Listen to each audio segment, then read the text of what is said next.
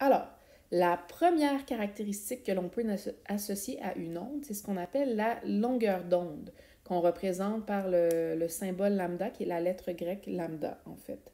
Euh, la définition d'une longueur d'onde, c'est tout simplement la, distance entre deux crêtes ou deux creux.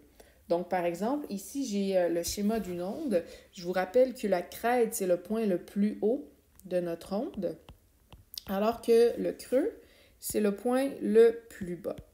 Donc, si je veux savoir quelle est la longueur d'onde de l'exemple qui est ici, eh bien, je peux tout simplement sortir ma règle et mesurer la distance entre cette première crête-là que je vais appeler mon point A et ma deuxième crête que je vais appeler mon point B. Donc, quand je fais la mesure entre les deux, ça me donne la longueur d'onde. Si j'avais décidé de mesurer euh, la distance entre la crête au point B et la crête au point C, ça m'aurait donné exactement la même mesure. Même chose pour le bas, j'aurais pu décider de mesurer euh, la longueur d'onde entre mon creux au point 1 et le creux au point 2. Lorsque je l'aurais mesuré, ça m'aurait donné la longueur d'onde, ça m'aurait donné la, exactement la même valeur que ici et que ici. Donc la valeur ne change pas. La valeur d'une longueur d'onde, elle lui est euh, spécifique et ça dure pour toute la l'onde au complet. Il est aussi possible d'utiliser une petite formule pour calculer la longueur d'onde. Euh, la formule est la suivante. La longueur d'onde est égale à la distance totale divisée par le nombre de cycles. Donc ça, c'est une petite formule aussi qu'on peut utiliser pour calculer la longueur d'onde. Avant de vous montrer comment utiliser la petite formule, je veux vous parler de qu'est-ce qu'un cycle dans une onde, parce que c'est un terme que vous allez voir qui va revenir souvent. Donc, un cycle, c'est tout simplement, on peut donner une définition très simple d'un cycle, c'est tout simplement une partie de l'onde qui contient une crête et un creux. Ça, c'est ce qu'on appelle un cycle. Euh, et ça peut être euh, c'est pas nécessairement la crête qui vient en premier, ça pourrait être le creux aussi qui viendrait en premier. Donc, si je prends mon exemple ici en bas, euh, ça ici, je pars du début, j'ai un creux et hop, j'ai une crête. Ça ici, ça serait un cycle. Ce que j'ai dessiné avec mon crayon vert, ça correspondrait à un cycle, puisque j'ai un creux suivi par une crête. Ça, c'est un cycle. Une autre façon de voir les choses aussi, c'est de se dire que euh, je commence euh, mon, parcours ici, au milieu de mon onde, et lorsque j'aurai parcouru mon onde et que je serai venu au même point de où j'étais parti, ben à ce moment-là, j'aurai un cycle aussi.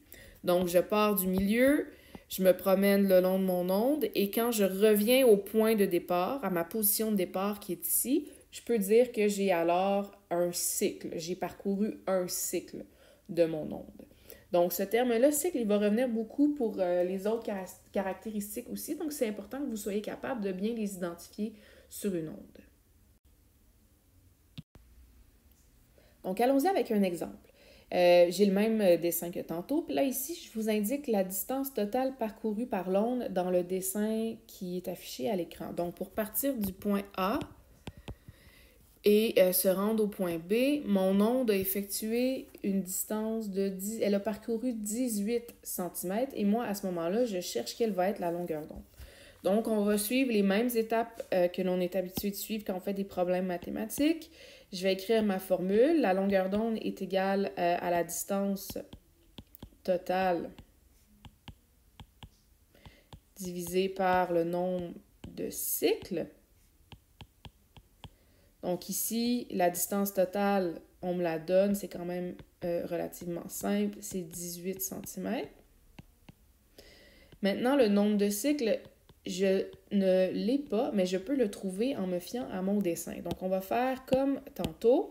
Je pars du point A pour me rendre au point B. Combien de fois j'ai parcouru de cycles? Combien de fois j'ai eu un creux et une crête? Donc, un creux, une crête, j'ai fait un cycle. Un creux, une crête, j'ai fait deux cycles. Un creux, une crête, j'ai maintenant fait trois cycles. Donc, mon nombre de cycles complets sera de 3, tout simplement. Moi, je cherche la longueur d'onde. Donc, euh, ce qui me reste à faire, c'est remplacer les chiffres dans ma formule. Donc, ça va être 18 divisé par 3. Ça va me donner une longueur d'onde de 6 cm. Et c'est ma réponse finale. Donc, la longueur d'onde, on va l'exprimer sous forme d'unités de mesure de distance. Donc, des mètres, des centimètres, des millimètres, des micromètres, etc., etc. Donc, euh, voilà pour la longueur d'onde. Donc, on voit ici 1, euh, 2 et 3, on a différentes ondes et on voit que les longueurs d'onde sont différentes d'une onde à l'autre.